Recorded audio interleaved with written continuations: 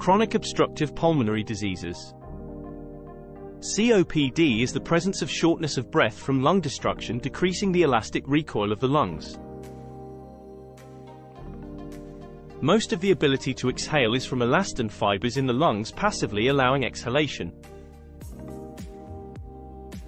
This is lost in COPD, resulting in a decrease in FEV1 and FVC with an increase in the total lung capacity, TLC. COPD is not always associated with reactive airway disease such as asthma, although both are obstructive diseases. Point to remember. If the case describes a patient who is young and a non-smoker, you should answer alpha-1 antitrypsin deficiency as the most likely cause. ETIOLOGYTOBACCO Smoking leads to almost all COPD. Tobacco destroys elastin fibers. Presentation, shortness of breath worsened by exertion, intermittent exacerbations with increased cough, sputum, and shortness of breath often brought on by infection, barrel chest, from increased air trapping, muscle wasting and cachexia.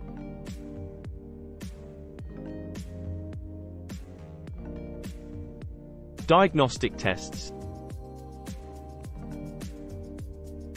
The best initial test is chest X-ray, increased anterior-posterior, AP, diameter air trapping and flattened diaphragms. The most accurate diagnostic test is PFT, decreased FEV1, less than 80% predicted, decreased FVC, decreased FEV1, FVC ratio, under 70%. Increased TLC because of an increase in residual volume. Decreased DLCO, EMPHYSEMA, not chronic bronchitis. Incomplete improvement with albuterol. Little OR no worsening with methacholine. Reversibility with inhaled bronchodilators. Patients with COPD have a broad range of response to inhaled bronchodilators such as albuterol. This ranges from no reversibility to complete reversibility. About 50% will have some degree of response. Full reversibility in response to bronchodilators is defined as greater than 12% or 200 milliliters increase in FEV1. Arterial blood gas, ABG, acute exacerbations of COPD are associated with increased PCO2 and hypoxia. Respiratory acidosis may be present if there is insufficient metabolic compensation and the bicarbonate level will be elevated to compensate. In between exacerbation, not all those with COPD will retain CO2. CBC may have an increase in hematocrit from chronic hypoxia. EKG, right atrial hypertrophy and right ventricular hypertrophy atrial fibrillation or multifocal atrial tachycardia, MAT. Echocardiography, right atrial and right ventricular hypertrophy pulmonary hypertension. Treatment, improves mortality and delays progression of disease. Smoking cessation, oxygen therapy for those with PO2 is less than or equal to 55 or saturation is less than or equal to 88%. Mortality benefit is directly proportional to the number of hours that the oxygen is used. Influenza and pneumococcal vaccinations definitely improves symptoms but does not decrease disease progression or mortality. Short-acting beta agonists, e.g., albuterol, Anticholinergic agents. Tiotropium, ipratropium, aclidinium, umeclidinium, glycopyrrolate, steroids. Long-acting beta agonists, e.g., SALMETEROL, FORMOTEROL, OLODATEROL, pulmonary rehabilitation. Inhaled anticholinergic agents are most effective in COPD. Ipratropium is the only one used in acute exacerbation. When all medical therapy is insufficient, refer for transplantation.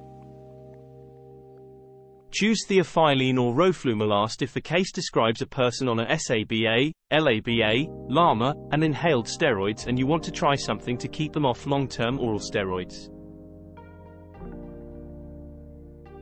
Treatment of acute exacerbations of chronic bronchitis. The management of acute episodes of increased shortness of breath is similar to the treatment of acute asthma exacerbations.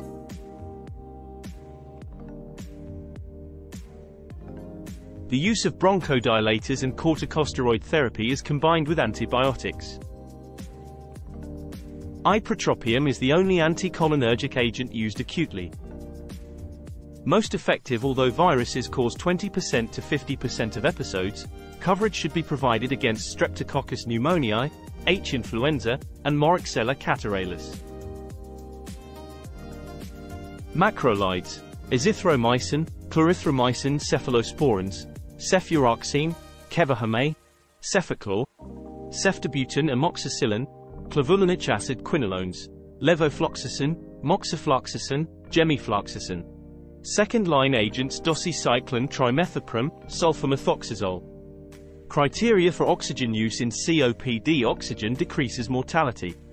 Criteria are PO2 below 55 mm Hg or oxygen saturation below 88% OR. If there are signs of right-sided heart disease, failure or an elevated hematocrit, PO2 less than 60 mm Hg or oxygen saturation below 90%. Although the hypoxic drive elimination concept is not correct, you would still avoid reflexively placing a patient with COPD on a very high flow 100% non-rebreather mask.